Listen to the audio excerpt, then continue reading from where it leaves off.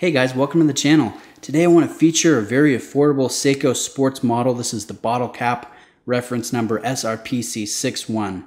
Now I'll begin by placing some dimensions on the side of the screen and I got to make a comment about them. I think they're a little deceptive uh, when you're referencing this watch because I mean the dimensions would indicate that this is just a really big piece at 45 millimeters but there's something about it that makes it feel a little bit more diminutive, and that's probably your almost completely round case, uh, your sloping, delicate lugs that have the lug holes, the thin bezel profile, and then those maxi applied markers on this uh, reflective dial.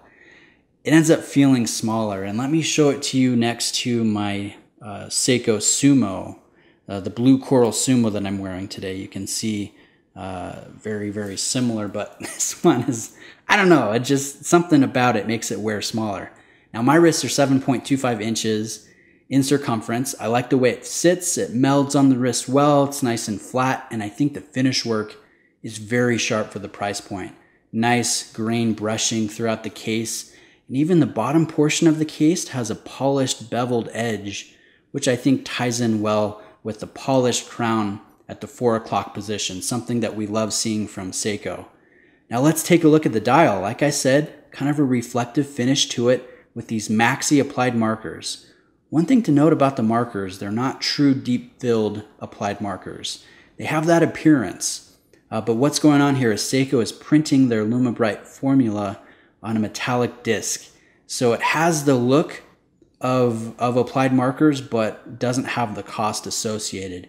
And this is something that Seiko does with quite a few of their uh, watches. Uh, the Turtle is an example, the Monster, even the Sumo that I'm wearing. Uh, the lume is printed onto those those discs. So I think you really got to go up in price to like the S- SBDC uh, 05 series and 06 series before you're really getting hand applied deep filled markers. But you know, on a watch that costs about $150 new that carries the look, I'm not going to complain. I think this is uh, I think this is pretty sweet. It ties in well with the sword hands. You've got an applied badge up there below the 12 o'clock position. And overall, just crisp, clean applications of everything. Uh, it's handsome. This is a handsome looking watch, no doubt. Now, what are the negative aspects here? There, there's definitely going to be some drawbacks to this.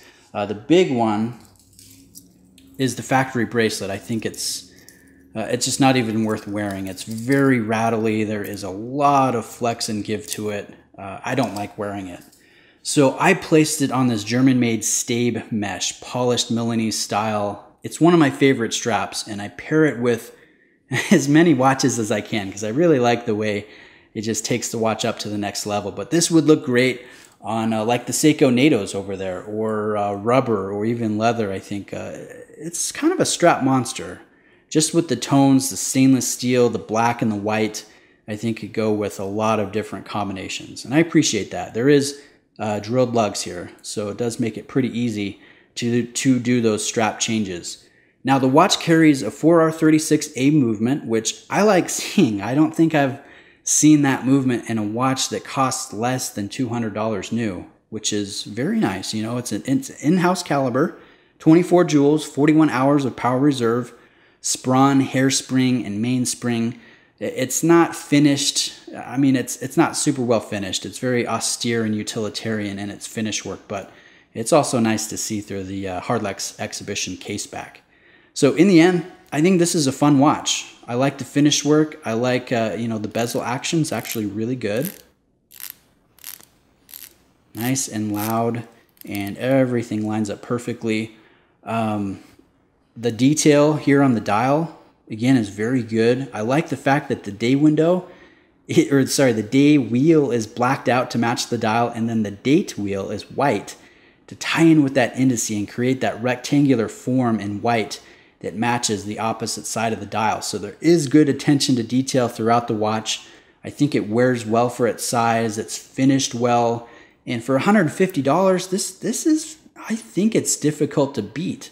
This does bring a lot to the table despite its drawbacks, like a push pull crown.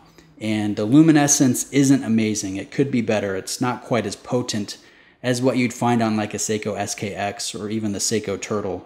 But for what this is, I think it's pretty awesome. And I want to give a big thank you to Robert of the Random Rob channel for lending this in. This is his personal bottle cap. And I've, guys, I've genuinely enjoyed my time with this watch. So um, if you have any questions, please let me know. I'll put a link in the description to where you can find this uh, on Gray Market. I think it's, uh, I think it's a good pickup. So again, thanks for taking the time to watch and I'll see you guys in the next video.